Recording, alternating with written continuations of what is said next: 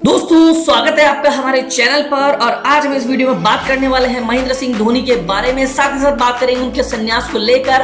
तो आप इस वीडियो को एक लाइक ज़रूर कीजिए और अगर आप हमारे चैनल पर नए हैं तो चैनल को सब्सक्राइब कर कर बेल आइकन को ज़रूर दबाएँ। दोस्तों, भारतीय टीम के विकेट कीपर बल्लेबाज महेंद्र सिंह धोनी पिछले पूरे साल खराब फॉर्म में थे। इस साल उनका फॉर्म ज़रूर अच्छा रहा और वो विश्व कप के लिए टीम का महत्वपूर्ण हिस्सा भी होंगे।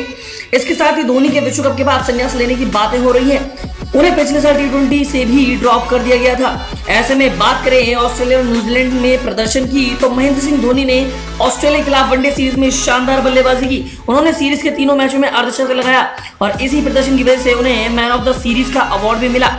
उसके बाद न्यूजीलैंड के खिलाफ उन्हें वनडे सीरीज़ में दो ही मैच खेलने का मौका मिला, जिसमें से एक मैच में उन्होंने नाबाद 48 रन की पारी खेली तो अंतिम मैच में वो ज़्यादा कुछ नहीं कर पाए और ट्रेंड बोल्ट की शानदार इन स्विंग गेंद पर बोल्ड हो गए महेंद्र सिंह धोनी के बारे में बात हो रही है कि विश्व कप के बाद वो क्रिकेट से संन्यास ले सकते हैं। इस बारे में मुख्य चयनकर्ता ने बयान दिया है।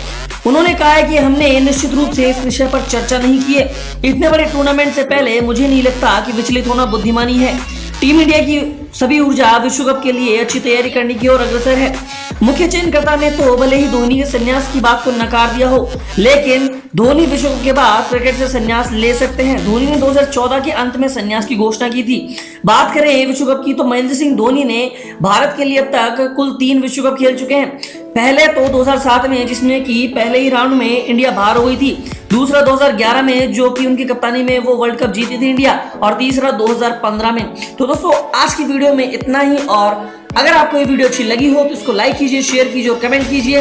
और क्या अगर आप चाहते हैं कि धोनी 2019 के वर्ल्ड कप के बाद भी खेले तो हमें कमेंट बॉक्स में कमेंट करके ज़रूर बताएँ और देश दुनिया की तमाम खबरों के लिए सब्सक्राइब कीजिए हमारे चैनल को। और अगर आपको ये वीडियो अच्छी लगी हो तो इसको लाइक शेयर कमेंट करना ना